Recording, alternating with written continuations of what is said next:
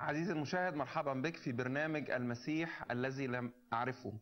آه، بنتناول في الحلقات بتاعة البرنامج قضايا تخص لاهوت المسيح.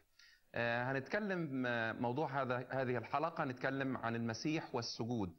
إحنا عارفين إن السجود هو لله فقط. وإذا قدم السجود لغير الله يعد هذا نوع من الكفر أو نوع من الشرك بالله.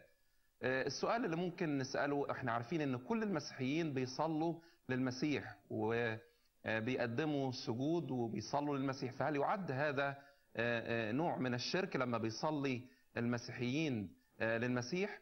معانا ضيف الحلقة دكتور حليم أهلا بيك. يا أهلا وسهلا. ومعانا اتنين من الشباب مينا أهلا بيك؟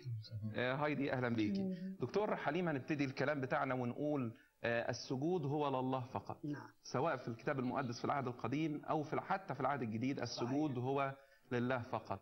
لكن المسيحيين بيصلوا آه، للمسيح وبيسجدوا للمسيح. فهل يعد هذا نوع من الشرك ولا إيه القصة؟ إن مصير المشركين بالله بحيرة النار والكبريت. تمام. فلو كنا مشركين لحكمنا على أنفسنا بالعذاب المبين. أكيد. فعشان كده هو إذا إذا كنا نحن نعبد المسيح فلا بد أن نتأكد أننا غير مشركين. تمام. وأنا لا أعتقد أنني أتبع مشركين لكنني أتبع الحق المبين. تمام. فالسجود للمسيح هو ذات السجود لله لأن المسيح هو الله بذاته. حكي لنا إزاي؟ الأدلة ما أكثرها لكن أكتفي بحدود الموضوع اللي إحنا بنحكي بيه. تمام. الأدلة التي تعلن أن المسيح هو الله ما أكثرها. لكن هنحكي عن شيء من الأشياء الكثيرة وهي السجود الذي يعلن ويظهر بالفعل أن المسيح هو الله بذاته مش شريك مع الله لكن هو الله بذاته. الكتاب المقدس بنقرأ فيه في العهد القديم والكلام ده قاله المسيح كمان بنفسه في وصية مقدسة من الوصايا للرب إلهك تسجد وإياه وحده تعبد. وإياه وحده تعبد. وحده. اذا السجود لله وليس لآخر سوى وطبعا علشان أنا أسرد مع حضرتك الآيات اللي بتقول السجود لله يبقى إن شاء الله نفتح المجال قدامنا كده 3 4 ساعات وإحنا حلقتنا كلها يعني نص ساعة. فما أقدرش أذكر كل الشواهد والآيات لكن أكتفي بما قلت وهو للرب الهك ده قوية جدا وكافية جدا. وحده. نحط وحده. مليون خط تحت وحده. بالظبط تعبد. ما, في ما ينفعش غيره. بالظبط كده. ولذلك حتى الرب يسوع نفسه قالها. إن الوصية بتقول كده. تمام. يبقى السؤال هل المسيح نسجد له باعتباره إنسان؟ أم نسجد له باعتباره الله؟ أم نسجد له باعتباره نبي من الأنبياء؟ أم نسجد له وأشركنا بالله؟ أنا معلش ذكرت كذا سؤال وكان لازم اقولهم نجاوب عليه. لو أنا قلت أسجد للمسيح وهو أعظم الأنبياء فهذا مخالف لوصية الله فلا سجود للأنبياء. بل الأنبياء نفسهم يسجدون لله ويوصون نحن أيضا بأن نسجد لله. لله. وأديك دليل في الكتاب المقدس نفسه يعني دليل عملي مش مجرد آية.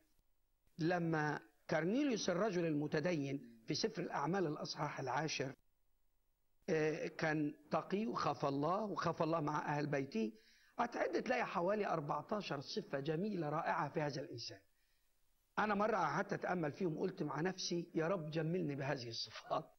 صفات رائعة رائعة رائعة يعني مش بتاع مخدرات والكلام اللي بنقوله في الوعظ. ده راجل بتاع ربنا ويصلي كل حين وصايم أربع أيام متواصل ويصنع صدقات كثيرة للشعب ورجل بار ومشهود له من أمة اليهودية. لا محترم راجل محترم ما تقدرش تقول عليه لكن يظهر له ملاك. ويقول له ارسل واستدعي سمعان الملقب بطرس يكلمك بكلام به تخلص. بعد كل ده يقول له حبيبي في طريق للخلاص. لازم تستدعي واحد اسمه سمعان بطرس مش أي حد. ده واحد من رسل المسيح. هيكلمك كلام هيوصلك بيه للمخلص ده؟ ومن خلال الإيمان بيه تخلص. يعني وصل لكل الأخلاق دي. بالظبط. ويهلك ويهلك في الآخر؟ ما كانتش كافية. الأخلاق مش كافية. بقى- وعلى فكرة انت شخص مخلص. آه. ودايما أنا أقول عبارة ما أعرفش قلتها كتير يمكن أحبائنا المشاهدين سمعوها كتير مني. الإخلاص أقصر الطرق الذي يصل بالإنسان إلى معرفة الحقيقة. ولغاية النهارده بقولها علنا الشخص المخلص من البشر الله ما بيسيبهوش يوصله للحقيقة. يعني ممكن بإخلاص أتبع مبدأ معين دين معين آه، آه، تعليم معين بس أنا مخلص فيما أتبعه. الله لأني شايف إخلاصي ممكن بألف طريقة أو طريقة يبين لي الحقيقة ووصلني للمسيح المخلص. لأن أنا فعلا زي ما قال بولس في جهل في عدم إيمان فعلت هذا. دي النور اللي وصل لي. فالإخلاص أقصر الطرق. والله بيقدر هذا الإخلاص. بس هذا الإخلاص مش هو اللي هيخلصني لكن يقودني إلى معرفة. الحقيقة. فكرنيليوس كان شخص مخلص. عشان كده أرسل واستدعى سمعان ملقب بطرس وجاء سمعان بطرس أول ما شافه يقول لك الكتاب سجد له. يبقى كرنيليوس سجد. تقول لي احترام تقول كيف ما شئت بس على الأقل أنا بفهمها من بطرس. واللي عمله بطرس؟ ممكن نقراها معلش مع بعض. علشان ما- ما يبقاش كله مجرد إن أنا أسرد أقوال الله لكن أنا نفسي كمان نقرأ أقوال الله. سفر الأعمال والأصحاح العاشر وعدد 24 وفي الغد دخلوا قيصرية اللي و... هو بطرس الرسول والإخوة اللي معاه اللي. والعسكريين وال- والعسكري والخادمين آه وفي الغد دخلوا قيصرية وأما كرنيليوس فكان ينتظرهم وقد دعا أنسباؤه وأصدقاؤه الأقربين ولما أيوة. دخل بطرس استقبله كرن- كرنيليوس وسجد واقعا على قدميه يبقى عمل إيه؟ سجد مين؟ كرنيليوس لمين؟ لبطرس نشوف بطرس عمل إيه؟ فأقامه بطرس مسك بإيده يعني مم. فأقامه بطرس قائلا قم أنا أيضا إنسان. آه يعني مهمة جدا. يعني إيه؟ يعني السجود لله بس ما ينفعش يعني, يعني دي تعملها مع ربنا مش معايا أنا. أيوه. أنا صحيح رسول المسيح مخلص بالنعمة وجاي أكلمك بكلام بيتخلص لكن استحالة أقبل إنك تسجد لي لأن مكتوب للرب إلهك تسجد وإياه وحده تعبد. إذا الرسول بطرس لم يقبل السجود شكلا وموضوعا لنفسه. قياسا على كده كل الأنبياء. ولو لو حضرتك تقول احترام مش مسألة احترام هنا بقى ده لا. سجود. ده اتخض منه هو حتى راح مقومه يعني مقوم. وأنا أنا لا لا لا انسان. حاسب دي مش مش أنا. لو هي احترام كان سابه كمل. تمام. أدي الإنسان للإنسان. ناخد حاجة تانية. الإنسان للملاك. الإنسان للملاك. دي وردت مرتين مش مرة واحدة في سفر الرؤيا.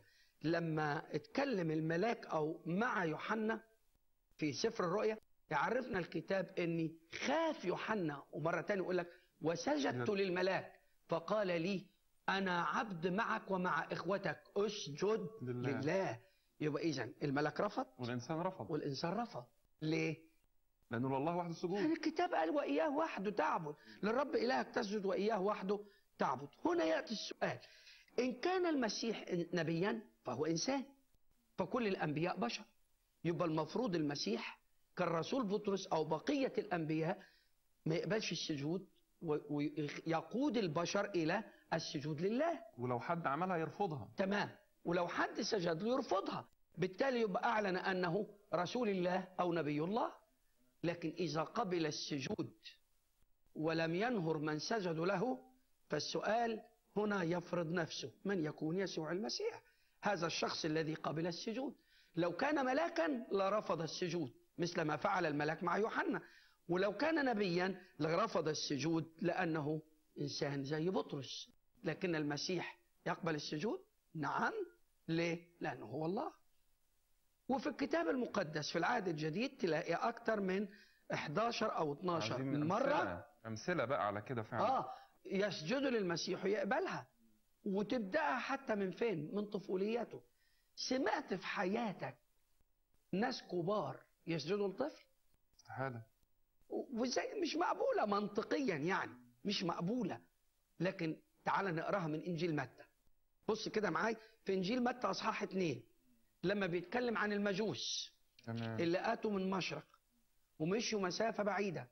وعلى فكرة عاوز ألفت انتباه احبائنا المشاهدين لشيء مهم برضه حادثه المجوس غير حاد- حادثة الرعاة لأن في خلط كبير بيخلطوا الرعاة في كثيرين إنجيل لوقا.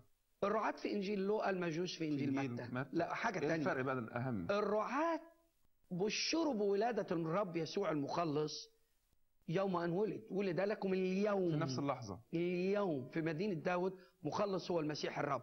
لكن المجوس أتوا وراء الصبي. عنده سنتين.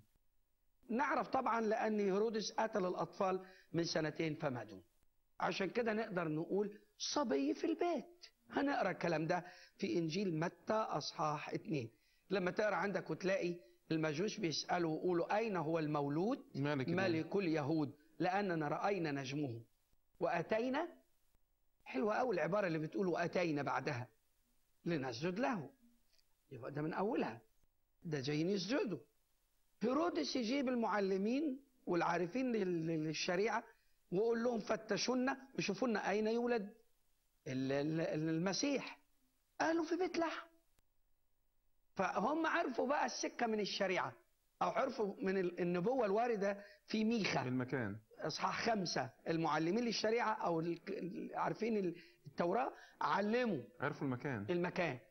والنجم يتقدمهم ومشوا وصلوا فين؟ البيت وصلوا البيت.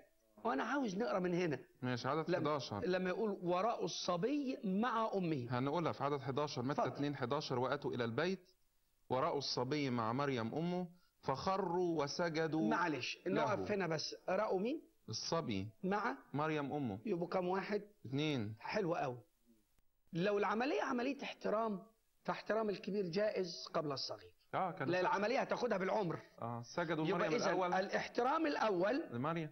وش اذا إذا كنا بنقول السجود احترام احترام. لأن البعض يقول لك ده احترام. ما أنا عارف يمكن الشباب يسالوني السؤال ده يقول لك احترام. مش قصة احترام. ده قصة سجود. للرب إلهك تسجد. عشان كده رغم أن المطوبة مريم تكبره سنا وهي أمه وتقدر وتحت- وتحترم واللي قالت جميع الأجيال تطوبني هي موجودة معاه. لكن أول ما سجدوا يا. لها من فطنة لا دي مش فطنة يا له من إعلان. بالروح القدس عن هذا المبارك مش فطنة وحكمة. فخروا وسجدوا له. له ولا لهما. لا له. له وحده. ده يذكرك بإيه له بقى؟ نرجع للآية تاني. إياه وحده تعبد. للرب إلهك تسجد. وإياه وحده تعبد. وحده. عشان كده ما سجد لم يقل سجدوا لهما فهو الذي يستحق السجود. وتاني كمان. ثم فتحوا كنوزهم وقدموا له. طب خلي هدايا. الهدايا للاثنين السجود ليه هو؟ والهدايا للاثنين. ثم فتحوا كنوزهم وقدموا أو لهما يس- يسيبوها المطوبه الهدايا يعني ما يعني يعني ده صبي. يعني أنا أنا هاخدها لك من العهد القديم بس بسكه تانية يعني. لما الع- العبد كبير بيت إبراهيم راح يخطب رفقة لإسحاق.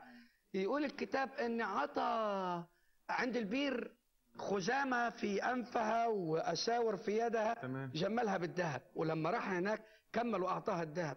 بس ما سابش عليها برضه. فتح وأعطاهم التحف. خدوا التحف برضه. خدوا التحف. خدوا هدايا برضه. يعني أبسط الأشياء. طب خلاص هو سجد له. يبقى الهدايا لغيره. لكن لا. أتري الهدايا له العبادة له الإكرام له السجود له له كل المجد. عشان كده يقول فتحوا كنوزهم وقدموا له, له. ذهبا. هدايا ذهبا ولبانا ومرا ده من أول ما وصل لأرضنا. عشان كده واضح إن هو الشخص الذي يستحق السجود. طيب عشان وقت الحلقة بس ممكن ناخد مثل تاني ونكتفي ب... مثل تاني. آه. والمثل التاني بصراحة واضح قوي. قوي يعني آه حاجة تبقى هقول لك. أنا قلت يمكن حوالي 11 ل 14 حادثة ذكرت في الكتاب لكن أنا أقول على مثل في غاية القوة. في عميان كتير المسيح وهبهم البصر. بس اللي ذكر في الكتاب سبعة. السبعة دول تلاقي فيه ثلاث أسباب للعمى. السبب الأول ناس عليها شياطين الشياطين عمت عينيها لكن رب يسوع أخرج الشياطين فأبصروا. السبب الثاني ده عيب مرضي أو تسبب في مرض أو نقصان في حاجة معينة زي بارتماوس ابن تيماوس كان أعمى. العينين موجودة بس هو ما بيشوفش. فيقول الكتاب وضع إيده عليه وقال له ابصر فأبصر. وتبعه وهو يمجد الله. لكن النوع الثالث بقى ده مولود من بطن أمه أعمى. ده عيب خلقي. عارف عيب, عيب خلقي؟ يعني نازل من بطن أمه ملوش عيون. ما عندوش عينين. ما فيش عيون. عيب خلقي. الأولى والتانية. الأولى شياطين تخرج اللي ماسكة العينين اتفتح التانية حط إيده آه، رجع الشبكية رجع القرنية لأن العين ظبط موجودة حاجة ما في جوه العين. لكن التالت ده عمل له عين. لا ده خلق مش مسألة تفتيح ده مسألة خلق. ولو الإنسان اتخلق من الذهب صدقني كان كمله من الذهب. ولو مصنوع من الفضة كان كمله من الفضة. لكن هو جبل. الرب الإله آدم ترابا. ولكون ترابه هو ناقص نازل ناقص يبقى ما يكملش إلا من التراب. لما شافوه التلاميذ قالوا للرب يسوع أهذا أخطأ أم أبواه؟ حتى ولد أعمى قال لهم لا هذا أخطأ ولا أبواه. لكي, لك لكي تظهر فيه أعمال الله. وبعدين قال لهم ما دمت أنا في العالم فأنا نور العالم. قال هذا وتفل في الأرض وصنع من الطفل طينا وطلب الطين عيني الأعمى قال له اذهب اغتسل. ذهب واغتسل في بركة سلوان وأتى آه، بصيرا بصيراً. ست على اسمه عاوز أقول يخلق من الطين عيونا. فهو الخالق. لما الجيران شافوه فتح قالوا له مفتح عينيك؟ قال لهم إنسان يقال له يسوع. إنسان. خد بالك؟ كل اللي يعرفه هنا دلوقتي إنسان. في إنسان قاعد. أخذوه راحوا لرجال الدين. لما راحوا لرجال الدين احكي لنا القصة حكى لهم القصة. هتقول له عنه مين ده؟ قال آه، أقول عنه نبي. ما دام فتح عيني. نبي؟ قالوا له ده الرجل ده خاطي قال لهم اخاطئ هو؟ لست أعلم. لكن أنا أعرف شيء واحد. كنت أعمى والآن أبصر. شتموه. وطردوه من المجمع. تيجي عبارة حلوة بقى. يقول لك فوجده يسوع. وجده. أيوه. وبعدين راح سأله السؤال قال له تعال أتؤمن بابن الله؟ فقال له من هو يا سيد لأؤمن به؟ عارف يعني إيه؟ بالبساطة دلنا عليه عليه. وأنا أركع له وأسجد له. لأني فتح عيني. قال له هو هو الذي يكلمك. قال له أؤمن يا سيد. وسجد. وسجد له. أؤمن يا سيد أنك ابن الله؟ الذي تستحق السجود ودي البرهان أهو وراح ساجد له. لو زي بطرس كان قال قوم قوم قوم قوم قوم لكن قبل المسيح هذا السجود منه بل امتدحه أيضا لأنه سجد له. فهو آه. المعبود الذي يسجد له. له تدسو كل ركبة ممن في السماء ومن على الأرض ومن تحت الأرض. آه، متشكرين خالص على الكلام الرائع والحلو ده. عزيزي المشاهد آه، سمعنا عن المسيح اللي نقدر نسجد له فعلا بدون خجل أو كسوف لأنه هو الله الظاهر في الجسد. آه، هنخرج فاصل صغير وهنرجع بعد الفاصل. معانا أسئلة آه، مع ضيوفنا في الحلقة. آه، فانتظرنا في الأسئلة لأن أكيد الأسئلة هتبقى شيء مهم جدا.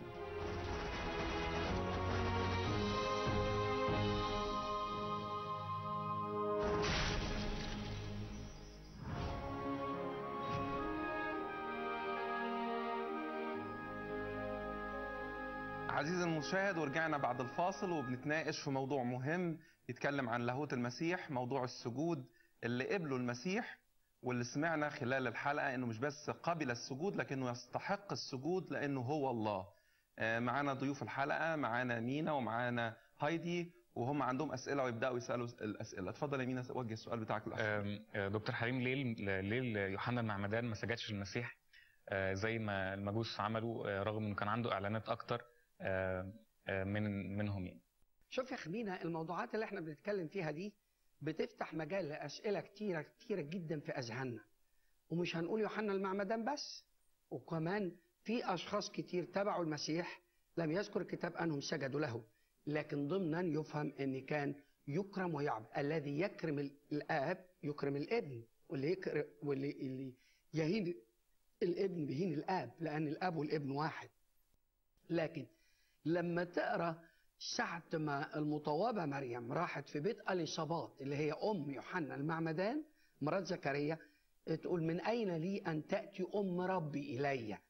وبعدين تقول له من ساعة ما صوت دخل في أذني والجنين ارتق- ارتقد ارتقد كلمة ارتقد بيقولوا العارفين الأصول إن كلمة يعني سجد يعني حتى بطن أمه قدر مين الشخص ده. وبعدين لما سئل عن نفسه قال أنا صوت صارخ في البرية. أعد طريق الرب. أعد طريق الرب. أضف إلى ذلك اعترف المعمدان كم هائل من الاعترافات المرتبطة بلاهوت ربنا يسوع المسيح وبكمال عمله والأسبقية الأزلية. وقال ده ابن الله ورأى الروح نازلا كحمامة. و- وقال شهادته أنه هو ابن الله. وقال اللي ما حدش قاله هو ذا حمل الله الذي يرفع خطية العالم. وقال شيء أروع كمان من كلمة سجد. لست مستحقا أن أنحني وأحل سيور سيور حذاء. تخيل بقى كلمة يعني رباط جزمتك ما أقدرش افكها ما استاهلش. على الصندل اللي أنت لابسه أقع عليه. هيعمل إيه أكتر من كده؟ ما هو السجود؟ الاعتبار والتقدير والاحترام لله. أدي معنى السجود. في احترام. أكتر من كده تاني. عشان كده ما أقدرش أقول يوحنا المعمدان ما سجدش للرب يسوع المسيح. واضح جميل خالص. هايدي السؤال اللي معاك اتفضلي. أنا عندي سؤالين. اتفضلي. آه، السؤال الأولاني هو المرأة السامريه اللي في حوارها مع الرب يسوع. الرب يسوع قال لها إنه آه، الآب طالب مثل هؤلاء السيدين. الآب هو اللي طالب ده. آه، ما قالش أنا ما قالش الله ما قالش أنا عشان أنا الله. قال الآب هو اللي طالب. جميل ده السؤال جميل. الأول. الرب يسوع له كل المجد. لما جه من السماء جاي يعمل إيه؟ السامريين اللي منهم السامرة في نفس الأصحاح يوحنا أربعة القصة اللي اتفضلت ذكرتيها قالوا الآن نؤمن مش بسبب كلام بسبب كلامك لكن عينينا شافت والنهاردة إحنا بنعلنها المسيح مخلص العالم. وفعلا دي عبارة جميلة لأن ابن الإنسان قد جاء يطلب ويخلص ما قد هلك فإن كان قبل السجود للإعلان عن لاهوته باعتباره الله لكن هو كالإنسان كمان جاء علشان يعمل إيه؟ يخلص الإنسان. لما بيتكلم مع السامرية النهاردة بيتكلم معها كامرأة من بدايتها كده امرأة ساقطة. لما تبتدي من البداية تلاقي أعطيني لأشرب كيف تطلب مني أنت رجل وأنا امرأة. وده مش صح إن الرجل يتعامل مع امرأة بحسب الشرع والناموس بتاعكم كيهود. اتنين كمان أنت يهودي وأنا سامري مبدأك غير مبدئي وأنتوا اليهود ما تعاملوش السامريين إزاي تطلب منه تتعامل معايا؟ يعني واخدة بالك؟ خد ماشية بت... فبقول لها لو علمت عطية الله من هو الذي يقول لك لطلبت أن تهينه فأعطاك. بتقول له ليه؟ أنت أعظم من أبينا يعقوب الذي حفر البئر وشرب منها هو وبنوه ومواشيه. قال لها كل من يشرب من الماء من هذا الماء يعطش. ما كانش يقصد بير يعقوب لكن يقصد البير اللي هي بتشرب منها. وبعدين يقول لها لكن اللي يشرب من الماء الذي أعطيه أنا فلن يعطش. ده كمان تجري من بطنه أنهار مياه حية يفيض على الآخرين. لما سمعت عن المية دي قالت له إيه؟ اديني. أعطيني من هذا الماء. يبقى إذا المسيح مشي لخلاص نفسها لغاية ما وصلها إلى الشعور بالاحتياج. وده عمل الله معانا يشعرنا بالاحتياج. فالرب يسوع قال لها إيه؟ مش ممكن أعطي لإناء متسخ لازم ينضف الإناء. اذهبي وادعي زوجك وتعالي. أنا أدي العائلة كمان. فقالت له ليس لي زوج. هي قالت حقيقة صغيرة لكن مخبية. عرفها هو مين بقى؟ ابتدى يكشف عاد موضوع الإيمان. أنا مش يهودي كما تظني لكن أنا الله المتجسد. عشان كده قال لها ال ال كان بالصدق قلتي بالصواب أجبتي. كان لك خمسة أزواج والذي لك الآن ليس هو زوجك. فقالت له أرى أنك نبي. نبي. خدي بالك هنا وصل وصلها إلى فين؟ إنها من من يهودي إلى نبي. إلى أعظم من يعقوب إلى مانح المياه إلى نبي. نبي. ده بالنسبة لها أعلى مستوى في المعرفة. راحت داخلة معاه في قصة. إيه هي القصة بقى؟ السجود. آباؤنا سجدوا وأنتم تقولون. أرجو أنك تكون لاحظتي النقاش هنا اللي هي بتتكلم فيه. بتتكلم بتعمل مقارنة بين مين وبين مين؟ بين السجود اليهودي والسجود السامري. أنتم تقولون السجود في أورشليم آباءنا سجدوا في هذا الجبل جبل جرزيم. فقال لها تأتي ساعة وهي الآن لا في هذا الجبل ولا في أورشليم. شطب لها على الاثنين بداية جديدة سجود متوافق خلاص. وبعدين يقول لها السجود الحقيقي بقى اللي هو الآب طالب مثل هؤلاء الساجدين. سجود لا في جبل أورشليم حيث الهيكل ولا جبل جرزيم حسب ما هم يؤمنوا السامريين لكن سجود بالروح والحق بالروح والحق مش معناه بالحماس. سجود للآب يقدمه الروح القدس اللي يسكن بعد بالإيمان فينا ويقدم من خلال المسيح. أسجد لله بالروح القدس ومن خلال المسيح. فبقي كده الآب والابن والروح القدس دخلوا هما في السجود. إذا كده اسجد لله. لأن دايما لما تسمع أو تقرأ عن لفظ الله يبقى مقصود به الآب والابن والروح القدس. إذا أنا سجدت للآب بالمسيح وبالروح القدس فهو مقبول. وإن سجدت للمسيح وفي نفس الوقت عظمت الآب فيما فعله من خلال المسيح فهو سجود. إذا السجود للآب هو السجود لله السجود للابن هو السجود لله والسجود بالروح القدس مش بالجسد. خدت بالك إزاي؟